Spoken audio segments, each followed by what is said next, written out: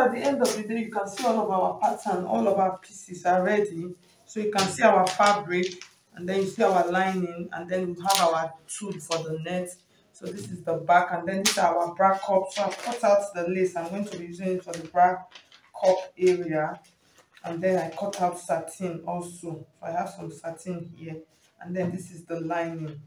So the next thing we're going to do now we're going to go and start, stitching on the machine. The only thing that i've not cut out is the skirt part. I've not transferred the skirt to my lace so i'm just going to leave that. So i'll go over to the machine. Hello everyone and welcome back to stylish naija youtube channel. I want to say thank you to all of my subscribers. Thank you all for subscribing to stylish naija youtube channel.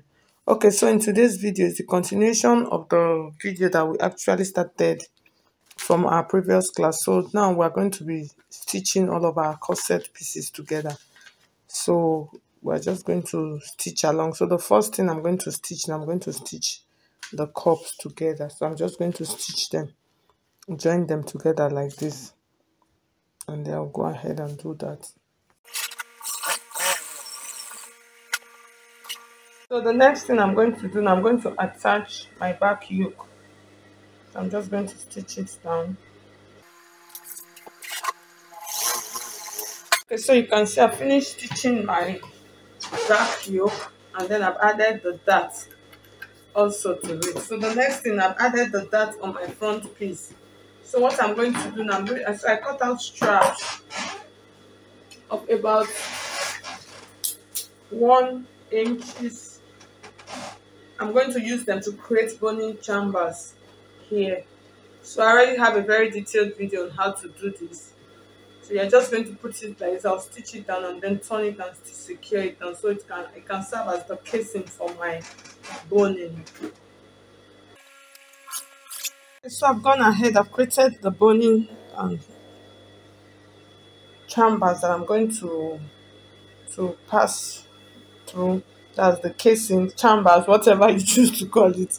So I finished creating. So I did the same thing on the back paste so you can see our corset is getting beautiful the next thing is i'm going to cover the cups right now the corset cups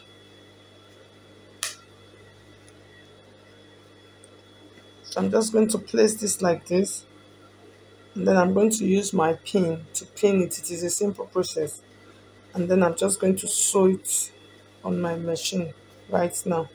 I'm just going to stitch. So I'll still sew it from the front. Yeah so you can sew from the front. You can sew from the back. So it depends on what you want. So you're just going to make sure that it's sitting like this.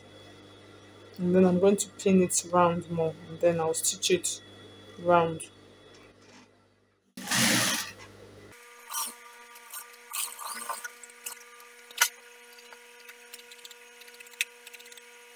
okay so i've gone ahead to attach the first bra cup so the next thing i'm going to do i'm going to attach the second bra cup so i've not added the boning so i just want to finish and then i'll pass them through the down so in attaching what i'm going to do i'm going to take the line my dart line. I'm going to place it here and then i'm going to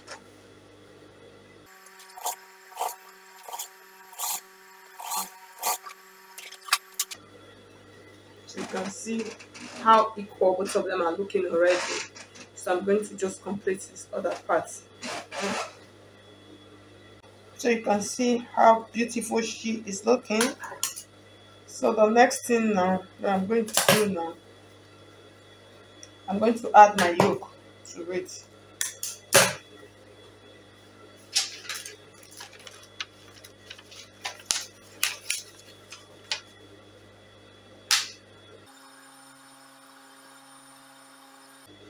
I'm just going to stitch it like this from here to this end and then stitch the other part.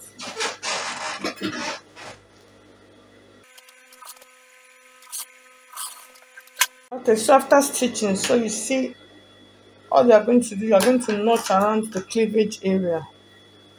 Make sure you notch it gently so it relaxes nicely just notch around gently.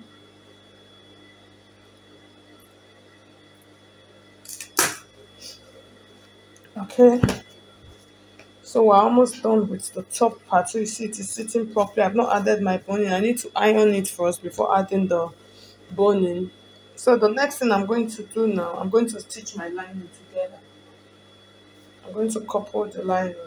So these are the back i'll just go ahead and do that okay so i finished cutting i finished attaching the loops to the back. So the owner of this corset actually wanted loops.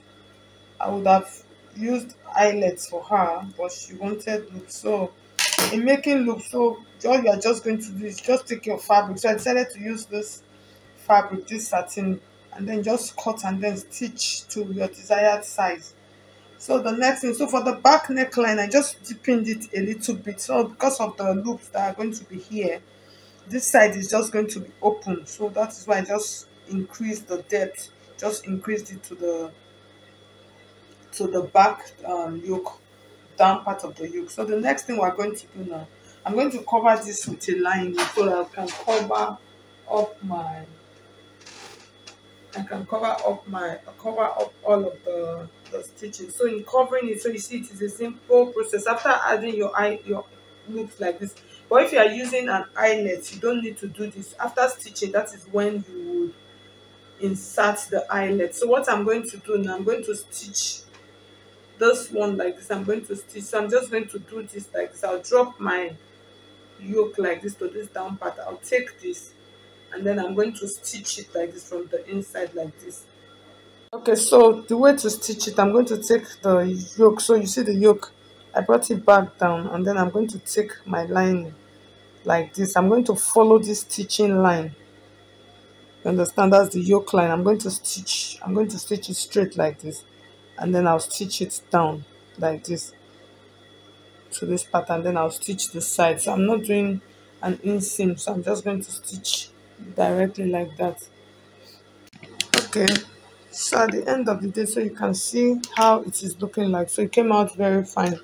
So the next thing i'm going to go and cut out my skirt. You know remember the last time i did not transfer the skirt to the fabric? So i'll transfer the pattern now to the fabric. I'll cut out the back and then cut out the front. So i'll come back and show you. Okay so this is my back piece. So this is my front piece I'm going to join it together. So for the front piece, if you notice, I've not added the lining. So I'm going to join the basque. So what I'm going to do, I'm going to take the center like this and then I'm going to start stitching. You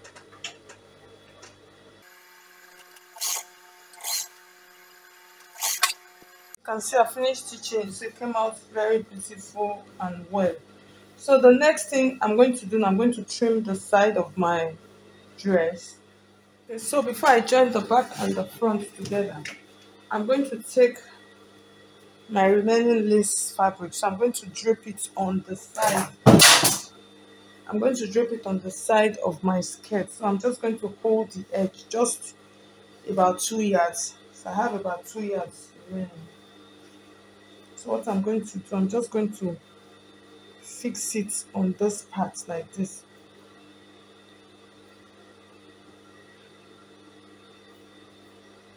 So I'm just going to pleat it and just fix everything. That's I'm just going to fix everything. Let everything enter into the side like this just one side of my skirt.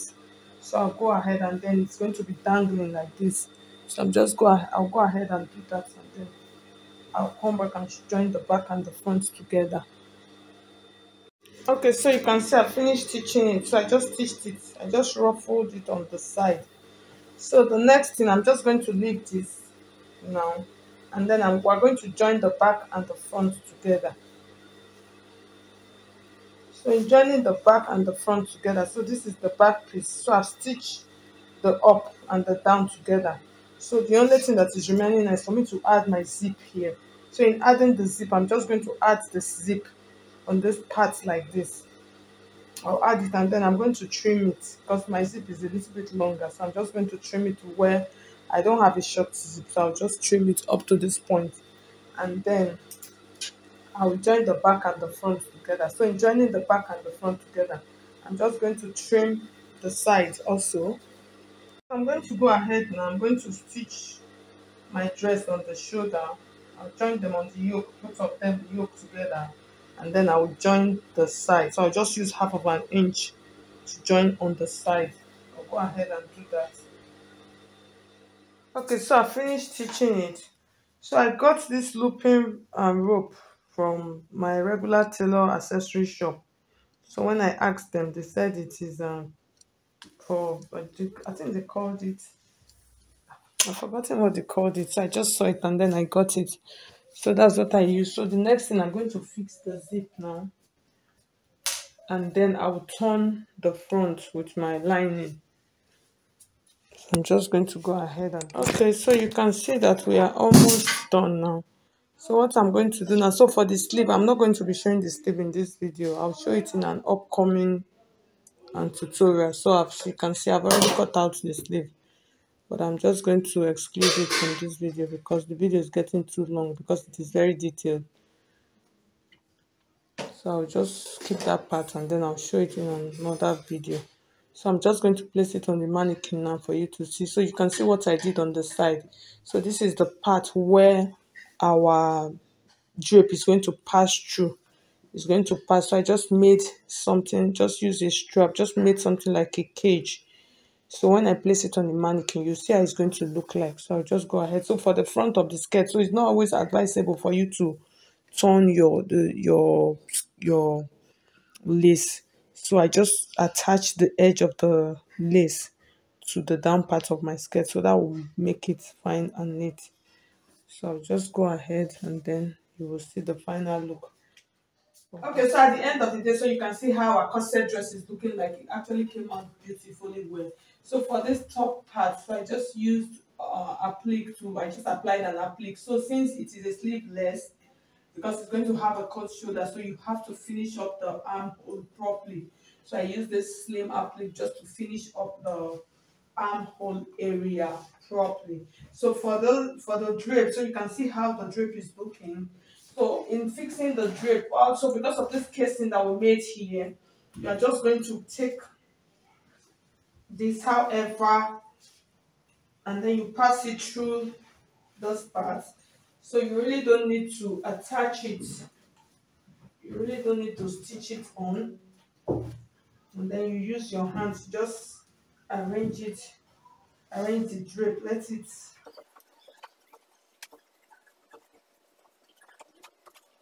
Okay, so at the end of the day, so you can see our dress, it is looking beautiful.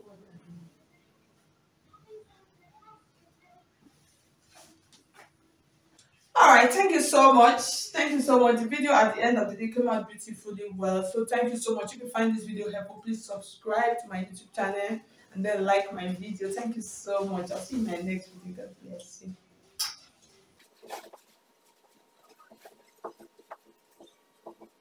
you.